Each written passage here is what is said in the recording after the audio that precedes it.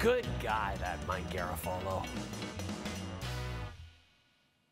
Mike Garafolo is back from the NFL Network for another season with us here on SportsCenter with Jay Onrait. We could not be more thrilled, especially with all the news coming out of the Bay Area on Tuesday in the National Football League. Trent Williams strikes a deal with the 49ers. He's going to stick around until the 2026 season. Brandon Aiyuk already extended with the team last week. So, Mike, John Lynch, our old pal, keeping the band back together for another run, I guess.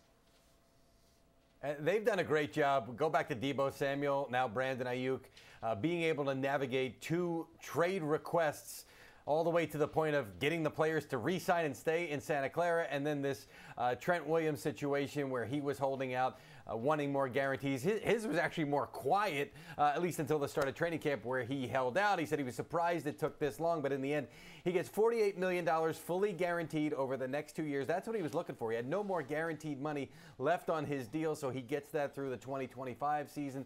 $25 million signing bonus. Loses about $2 million in fines for not reporting to training camp, uh, which was the cost of doing business in his mind because he picked up, I think, another 5 million this upcoming season. So it's a net positive for him in the end and gets to the point where uh, he is in line to earn over the course of his career about a quarter billion dollars, $250 million uh, in all if he plays out the rest of this contract. He is still arguably one of the best, uh, or uh, he definitely is one of the best left tackles in the league, arguably the best in the league.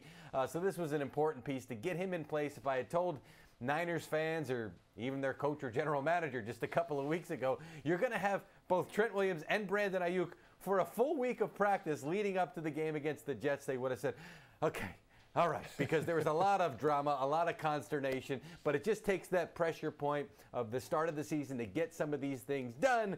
Uh, some have been done, some not. In this case, for the 49ers, got both done. They hope uh, now Christian McCaffrey can stay healthy, and they are also thankful, as we all are, that Ricky Pearsall, the rookie wide receiver, is okay after a scary situation where he got shot in the chest as part of an attempted robbery there. Uh, seems like he, in the long run, will be okay, a full recovery there. So lots of good news coming out of Santa Clara lately. That is good news. And you mentioned some contract disputes get done.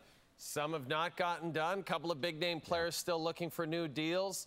Dallas Cowboys, Dak Prescott, Cincinnati Bengals, Ja'Marr Chase. Is there an end in sight yeah. for either of these contract disputes in your mind, Mike? I believe that there's a chance that there's an end in sight for both guys. And I've been saying all along, I feel like Chase could be the one that really is up against the start of the season. Could be done on Saturday. A lot of times, what we see uh, right before the uh, first weekend is that Saturday a bunch of deals getting done.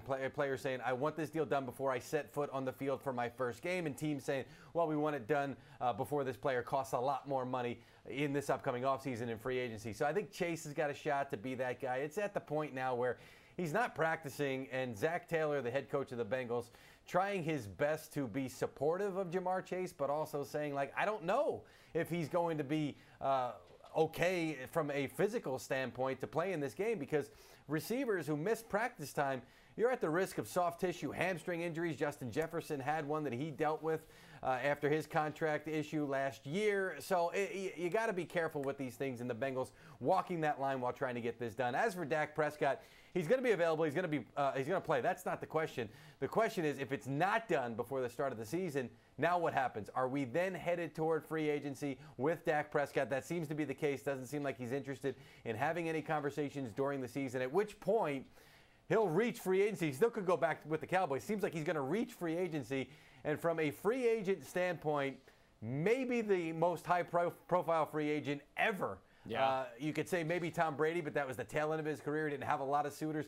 Dak Prescott would have a lot of suitors. So a lot on the line for the Cowboys, even though we know Dak Prescott is going to play week one this year. Gosh, I almost hope it happens so we can see exactly what that kind of bidding war would be. But uh, a lot of yeah. quarterback movement this offseason, as you know, Mike, but only one matchup in the opening week that involves a couple of quarterbacks making their debuts with their respective teams. Of course, that'll be Kirk Cousins yeah. in Atlanta and Russell Wilson with the Pittsburgh Steelers. Still sounds strange. They are the starters yeah. now, Mike, and I know you're going to be there to see that one in person. They are the starters now. Yeah. Do you expect them both to be the starters with their teams by the end of this season? That's a good question. Look, for Kirk Cousins, I know Michael Penix is looking over his shoulder uh, and the Falcons and that curious decision to draft Penix despite giving Kirk Cousins all that money in free agency. I have been given every indication that it is Kirk Cousins' team and it is not a quarterback controversy and that they fully expect to be competitive with Cousins this year. So I'll say Cousins goes wire to wire this year. And then the offseason, we can have some kind of conversations with regard to Penix, depending on how it goes for Cousins. For Wilson, I don't know that he's going to keep this job very long, to be honest with you. I mean, I know he's got the confidence of Mike Tomlin, but he's got to show some better decision making than he's shown so far, from my understanding, with regard to what he's done uh, both in training camp and during the preseason. He played well enough in the preseason, but it's not like he ran away with this job. And I know that there's a lot of intrigue with Justin Fields there with regard to his physical ability and what he can do, the upside there. So there might be a temptation early on if Wilson struggles and maybe has some of the games that we saw in Denver that led to frustration for Sean Payton to say, we've got Justin Fields sitting there who has done a good job of taking coaching, has gotten better in the classroom, on the field, in practice, during games. They like what they've seen from him. This is definitely one to watch as the season plays out, in large part, Jay, because the Steelers have one of the toughest schedules in the league. Mike Tomlin's got that streak of uh, winning seasons or, or non losing seasons going right now. This very, very much could be in jeopardy this upcoming season.